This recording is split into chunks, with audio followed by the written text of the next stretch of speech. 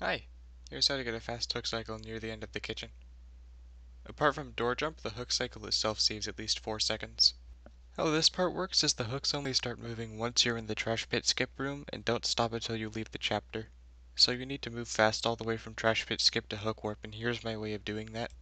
First, doing trash pit skip quickly. The method I use is to run right until here, once there start running straight to this point, and once I'm at that point jump onto the sack.